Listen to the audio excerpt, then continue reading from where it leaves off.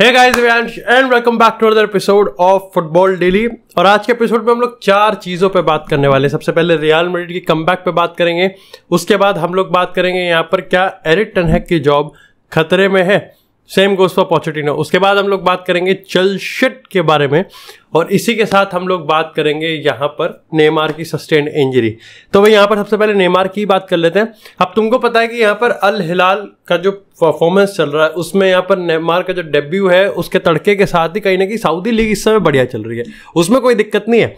लेकिन ऐसे में यहाँ पर नेमार के कोच ने वो खबर सुना दी जिस चीज़ के लिए फैंस हमेशा से ही डाउटफुल रहते हैं। और वो ये है कि भाई, नेमार अपनी इंजरी को लेके कब तक कहीं ना कहीं प्रोन रहने वाला है, कब तक वलनरेबल रहेगा।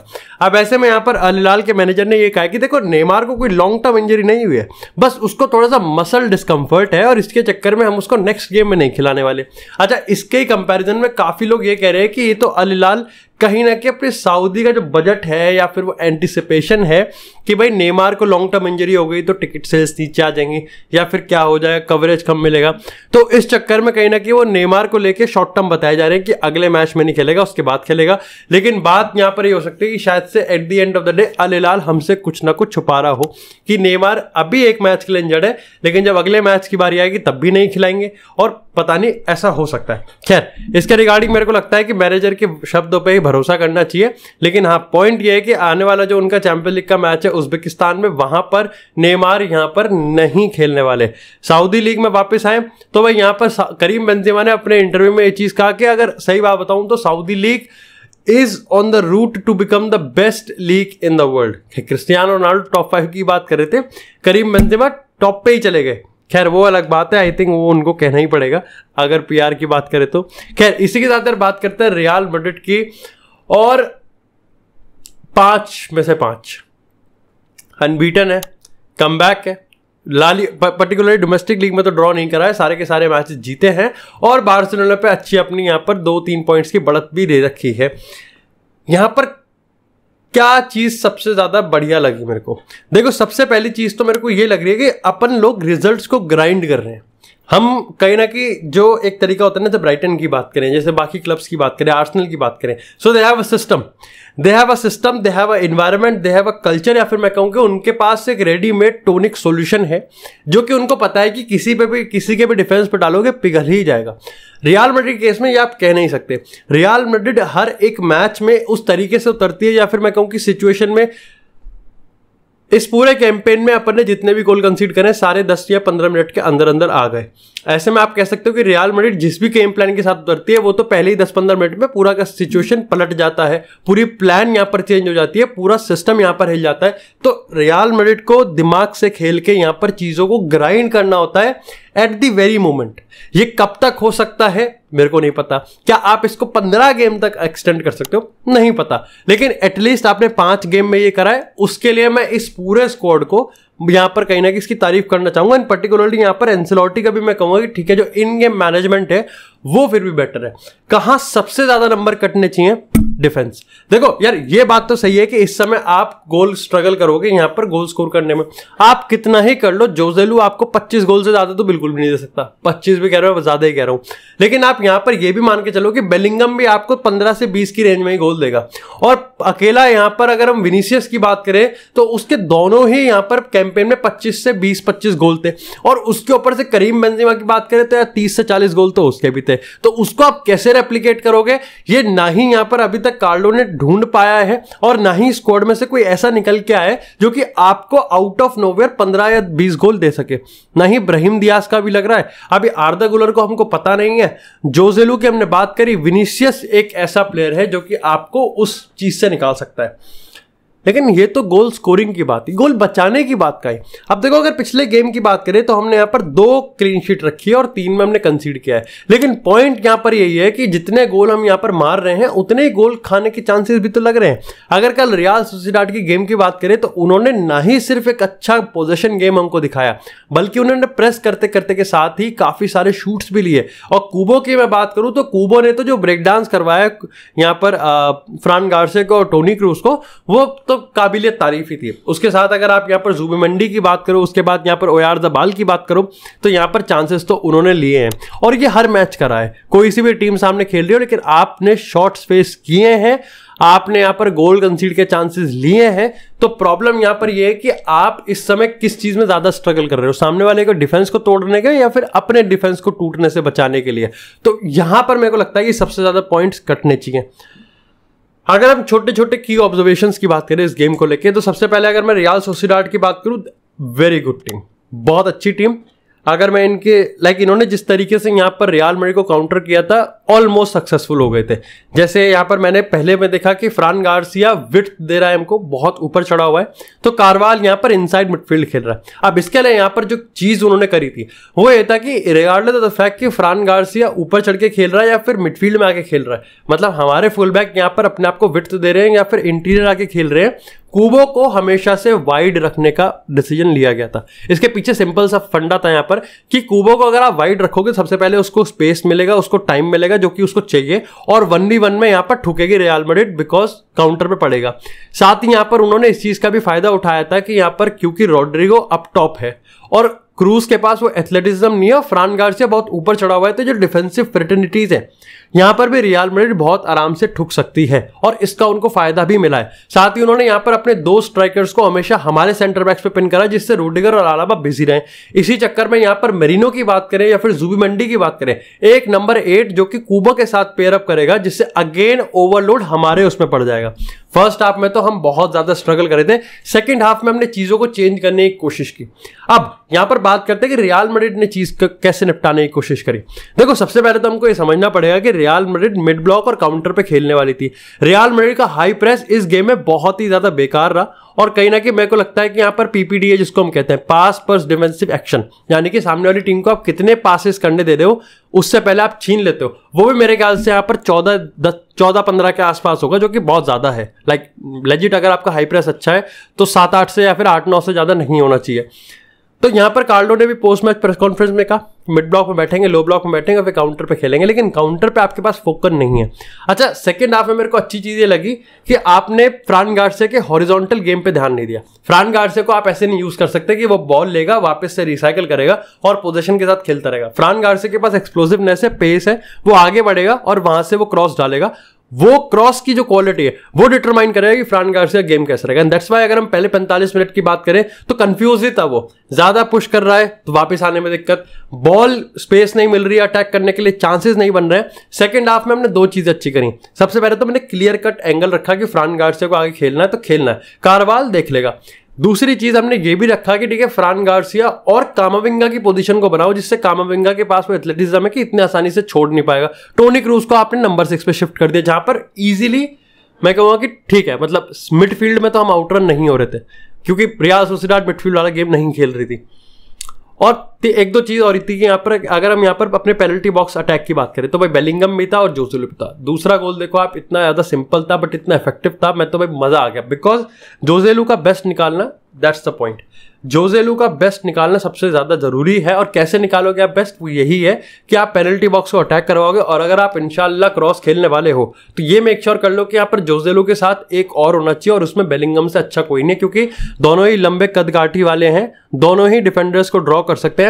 और जोजेलू के पास हेडरिंग एबिलिटी है। ये उसकी सबसे बड़ी एबिलिटी मैं कहूँगा। उसके अलावा आप कितना ही जोजेलू पे एक्सपेक्ट कर लो, वो नहीं खेल पाएगा। There is the reason why the thirty three years of age he was a striker at Espanyol ये हमको मानना पड़ेगा। खैर, मेरे को बेलिंगम के रिगार्डिंग में एक चीज़ कहना है ऑफकोर्स उसका रिकॉर्ड टूट गया पर बट अगेन उसका गेम मेरे को बहुत प्यारा लगा। सोडस मेरे को वलवर्दे गेम बहुत प्यारा लगा। कैपा का, जहाँ वो कमज़ोर है, वहाँ वो कमज़ोर यहाँ भी दिखेगा। बॉल हैंडलिंग में मेरे बॉल्स नहीं फुटबॉल की बात कर रहे हैं। यहाँ पर लॉन्ग शॉट्स में रिफ्लेक्सेस अच्छे थे शॉर्ट स्टॉपिंग अच्छी आ रही है बॉल डिस्ट्रीब्यूशन बेकार है, छक्के मारने के लिए उसको कौन कह रहा है, मेरे को समझ में नहीं आ रहा। वो क्यों छक्के मार रहा है? इवन उसको कोई प्रेस भी नहीं कर रहा, वो फिर भी यहाँ पर छक्के पे छक्के मार रहा है, रोक ले बॉल को। दिस इज़ लाइक ये बहुत बड़ी दिक्कत है, या तो उसको इंस्ट्रक्शन दिए गए हैं, या फिर वो खुद कर रहा है। खुद कर रहा है तो पिटेगा इंस्ट्रक्शन दिए गए हैं। कुछ नहीं कर सकते। खैर, इसी के साथ यार अब बात करते हैं, चल सी पे। चेल्सी को सबसे ज़्यादा नंबर कहाँ देने चाहिए? आई थिंक चेल्सी को यार आप नंबर दे सकते हो because they have lack of experience आप देखो उनके कितने ही तमाम ऐसे प्लेयर्स हैं जिनके पास यूरोपियन एक्सपीरियंस ही नहीं है। मुद्रिक के पास नहीं है। बहुत सारे ऐसे प्लेयर्स हैं जिनके पास यूरोपियन एक्सपीरियंस नहीं है। इतना प्रीमियर लीग एक्सपीरियंस चलो छोड़ ही दो। यहाँ पर जिनके पास बहुत सारा यूरोपियन प्रूवन प्लेयर्स होते हैं वो प्रीमियर लीग में आके फेल हो जाते तो ये चेल्सी तो बहुत ही खराब है। साथ ही आप देखो कि जब आपका एक प्लेयर ऐसा होता है तो उसको टाइम चाहिए होता है। दो प्लेयर ऐसे होता है, उसको टाइम चाहिए होता है। लेकिन जब आपके चार, पाँच प्लेयर एक साथ, एक ही शिप में घुसेड़ देते हो तो भसड़ मस्ती और कुछ नहीं होता। अच्छा पॉचिटिनो को भी इन प्लेयर्स को थोड़ा जानने में टाइम लगेगा। साथ ही इंजरीज का कंसर्न तो है देखो यार, आप एंकुंकू की बात करो, आप यहाँ पर रीस जेम्स की बात करो तो प्रॉब्लम तो है। प्रॉब्लम तो साफ़ दिख रही है कि ठीक है सैंचेज ने अच्छा गेम खेला सैंचेज ने चेल्सी को बचाया भाई, ये भी कोई, इसमें भी कोई दोराई की बात नहीं है। सबसे ज़्यादा नंबर कहाँ कटेंगे? देखो, सबसे ज़्यादा नंबर कटेंगे मैनेजर के।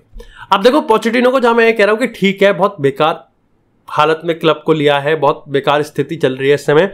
लेकिन क्या वो कह सकता है कि यहाँ पर लाइक इस समय वो पूरे क्लब को वो प्लेटफॉर्म दे रहा है, वो बेसिस दे रहा है जहाँ पर क्लब के प्लेयर्स अपना यहाँ पर बेस्ट निकाल सकें।